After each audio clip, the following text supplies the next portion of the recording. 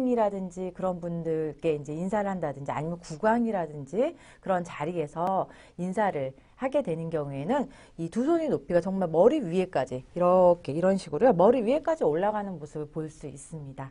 그래서 이제 이 두 합장에 합장하라는 두 손의 위치에 따라서 이 상대방한테 어느 정도의 예의를 표하는지 어느 정도의 존경을 표하는지를 알 수 있겠죠. 일반적으로는 보통 그냥 요 정도 가슴 위치에 두 손을 합장을 하셔서요. 같이 사와디카, 사와디캅이라고 인사를 하시면 되겠습니다. 예.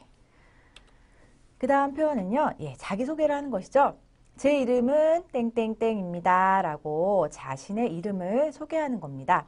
여성의 경우에는 디찬이라는 인칭, 1인칭 대명사를 사용을 하고요.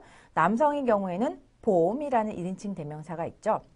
일반적으로 그냥 무난하게, 무난하게 사용할 수 있는 그 1인, 인칭 대명사